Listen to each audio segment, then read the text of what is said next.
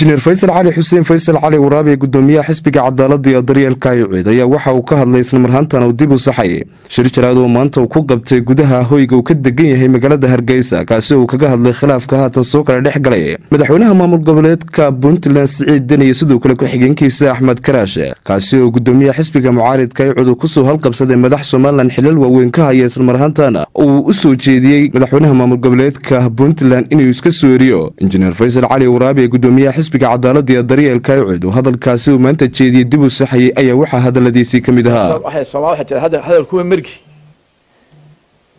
maanta interviewgii su'aaltan ka jawaabayay ahayd arrinta ma garanaysaa ee ka taagan puntland ayaa la tiwisgareeyey horta anu waxaa idiin sheegayaa waad ogtihiin anuu tacabkan geliyey ma garanaysaa inay somaliland shacbigeedu midoobaan cid gelaysa ma jirto ilaa dagaalkii sokeeye waad ogeedeen roolkan ka qaatay taariikhda inkastoo dadkeenu xasuus lahayn sidii ay magaranaysa deegaankaas amba ahaata s s e amba ahaata khaatumo in arrintooda la galo oo dadka la mideeyo tacabkan geliya cid gelisoo reer somaliland ma jirto qof kasta oo mataqaana deegaanka ka yimaada ee magaranaysa muraad oo ka yeesha u soo bixi waay arrin anaga ii yimaadaano ilaahay uu igu asturaa marka horta anu nin qabiiliya maihi haddaan qabiil ahay maalintii dagaalkii sokeeyana aabbaha iyo raaci lahaa iyo dadkii abtirsimada ahaa. Ilaahay subxaana watacaala aniga bahasha qabyaalada ah. Ilaahay subxaana watacala ma laga qaleed moodaaba. Alxamdulilah rabbi alcaalamiin waana ka ducaysta laakiin waxaanan ka adsan kara xaqdarrada. Wixii wixii jira waan sheegaa. Soomaalida runta ma sheegto. Waxaan sheegayo waxa weeye axmed karaash waxa halkaa geeyey maahayn nasteexo uu hayo magaranaysa dadkiisa ee waxay wax islahaa somaliland ku xumee. Oo dad deegaanka dadkaa wada degan ma garanaysaa ee sool iyo sanaag wada degan. Dee africa waxa waxa waxaa qaybiyey ma garanaysaa ee adduunka qaybiyey wadamadii super powerka ee xuduudda la sameeyey. Lama bedeli karo auda charterka auda axdi qarameedka lagu caddeeyey in la ilaaliyo xuduudihii isticmaalkii ayuunbuu qas yidhi in hala geliyo. Oo dadkaa waddankii soomaaliya itaaliya wada landka ka dhigoo kale inuu kala qayb qaatay inuu land ka dhigo. Waxaana hubaa inaanu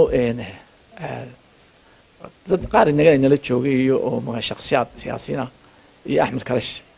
Puntland uma jeedaan somaliland uma jeedaan ninkaa farmaajo ee xamar ku tembreriga ayay ujeedaan oo maalinta buhoodle ninkii yimid dawada keenayba dee waxaa soo diray farmaajo waxaan la kaashaday uun axmed karaash marka saasaan sheegayay in dul kala samaysan. Markay noqoto arrintan annaga da ogtihiin waxaan anu jeclahay in dee beesha magaalada ka soo jeedaan baashiyo waa beel magac leh sharaf leh beel minority lagu sheega maaha. Beelaha waaweynee reer somaliland ayay ka mid tahay markaa la sheegayo waxaan jeclay inay saamigooda soomaalida ka qaataan. Aanay isxambaar noqon. Taasaan aniga isku haysanaa raggaan magacaabay ee ku jira baarlamaanka. Ee beesha ka soo jeeda hortaagan doorashada. Waxay diidayaan inay dadkaasi saamigooda qaataan. Oo dee sool lixdankii baa lagu socdaa. Sool haddaa lixdankii lagu dhifto inta lahayd labiyo toban waxay yeelanaysaa kursi yeelanaysa qaybteedii. Dee inay xaqooda qaataan oo fuudka ka qayb galaan oy oy oy ilaa madaxweynaha sidaa riyaalaba u noqday uu u furan tahay oy waddankooda ay iimaansadaan baan ka hadlayaa intaan isku hayna da anaga baarlamaanku leh saddexaan inu ha sheegine qolada baarlamaanku waxaan isku haynaa war doorasha dalkana ka dhacdo. War sharci ma tihidin. Sharcigu shan sanuu sheegaya. Shantii sana way dhamaad shan iyo toban saada dhamaysanaysa. Ilaahay ka boqoyo shacbigo. Doorasho sii daaya oo dhulka aan doorasho ka dhicin diiwaangelinta diiwaangelinta tagto. Intaasaan isku hayna. Marka ayaan hadalkayga la tuskareeyo.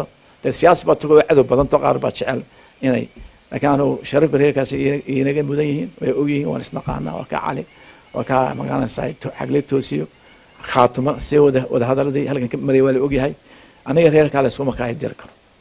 Marka dee dadku hadle waxay dhahaan ciidagaliyo dhulbaanta waa waa waa waa dhul iyo iyo ciid bay yidhaahno waa isku dhaqan baabaan dhahay mataqaana marka sharaf bay igna mudan yihiin. Intaasuu masaxayay. Waana mahadsantihiin tvyadan iyo waa mahadsantihiin anigu waxay ku soo talagelin ani nin mataqaanaa qabiila waxaan anugu inaan soomaaliya sharaf yeelato oo walaalnimadii ehelkii aan ku koray. Markaan jaamacada ku jiray iskuulka dadka igu badan saaxiibka waxay ahayn reer laascaanood iyo reer boorame ahay. Waxaa la samayn jiray students committee la samayn jiray dadka foodka ay siin jiray i badnaa ardada gudda ardada reer boorame waxaa ahayn iyo reer reer walaalanu nahay dad badanna marka ma garanaysaa reer boor marka waxaan cudurkan waa cudurkii soomaaliyana qaadsiisay na qaadsiisay dhibaatadayna gaarsiisay ka mid tahay inaynu maanta reer reer isku sheegno aan reer igu soo keli cadaalad imu igu soo talagalaya wanaag ayaa igu soo talagalaysaan asalaamu calaykum